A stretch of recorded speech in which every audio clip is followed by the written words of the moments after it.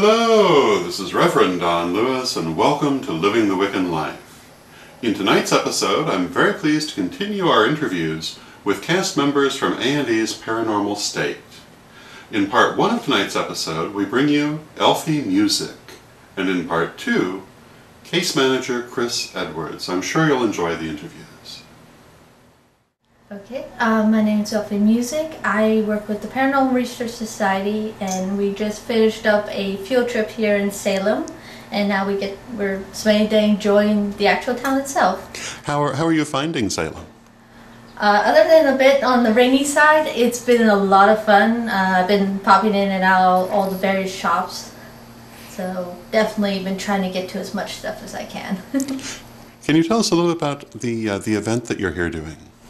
Uh, the field trip that we did here was is basically a gathering of people who are not only fans of our show, which was Paranormal State on A&E, but also people who have an interest in the paranormal, of uh, learning, of talking about it, and just basically experience it through lectures and investigations. And did you have a lot of, um, of paranormal experiences here in Salem?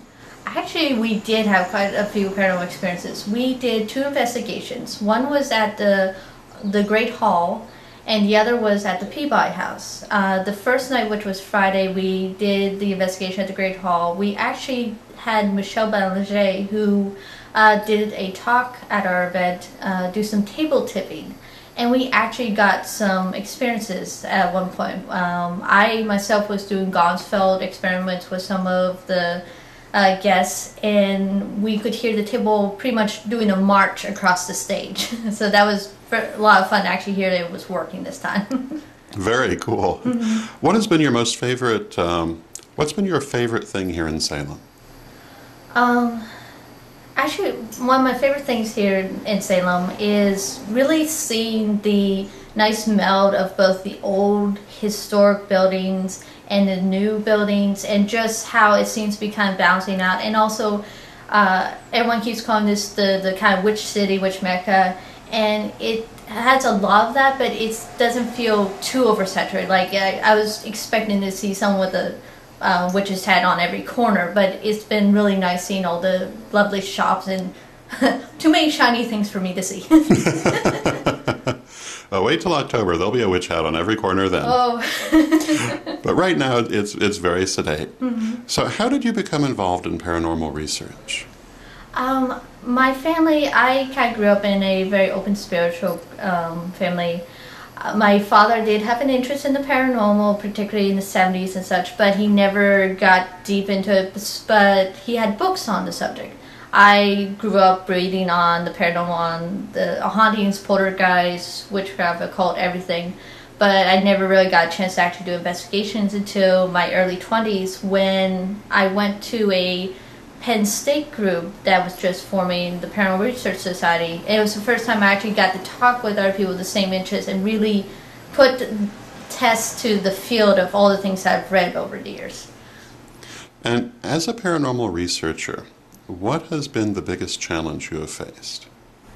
Um, the biggest challenge for me has really been one, it's been interacting with people. Um, I'm a bit on the shy side, so actually having to talk with clients and really find things out. But actually, the challenge has been also um, getting the evidence and having the patience for it because it's not a simple you go into a dark house and suddenly everything happens it's really hours upon hours of sitting in a room waiting for evp or going over evidence so it's really been a test of patience hoping to get evidence and not always going to be a guarantee.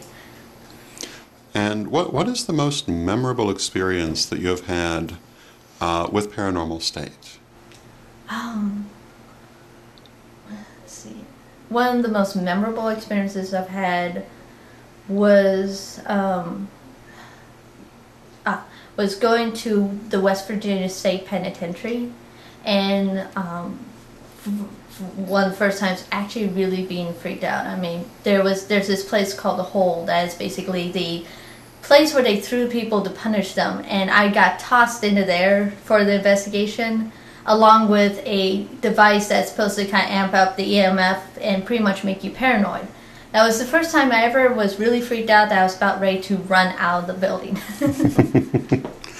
Um, now, you were mentioning that you come from a metaphysical family.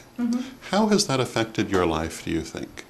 Um, with growing up in a metaphysical, very open spiritual family, it affected my life in a sense of I was also kind of in a sense solitary or kind of sheltered. I mean, I didn't get to really interact with other practitioners until my 20s. I mean, there was only a couple members outside my family I knew. So when I kind of hit both like a pagan groups and the paranormal, it was very different because to me this was kind of normal in a sense. This is stuff I heard every day growing up and knew about, and it was almost common. So suddenly encountering this, and some people going, "Oh my god!" If being free, afraid of it, I'm like, "What? It, it's nothing." It bump in the night is common for me, but it, it was definitely kind of a culture shock for me, really. Uh, what is your next big project? Um, Ryan just recently put together, started putting together webinars, which basically is intro to the paranormal, surgery did, evidence analysis, and whatnot. So we're hoping that this will be a way to get to more people because they don't have to deal with the travels and such, and they can actually watch it over and over again. It's something it doesn't have to be a one-time deal for them.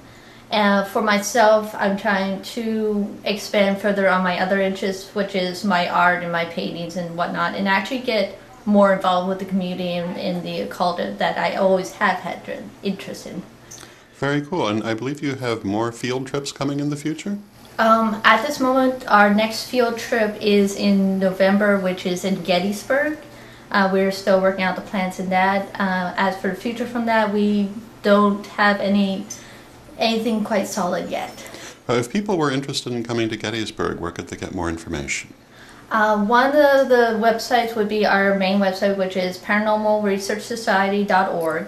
Uh, they also can check out our, parano- our field trip website, which is uh, parafield, parafieldtrips.com. And they can get all the inf- information from there as well. Very cool. Thank you very much. Thank you.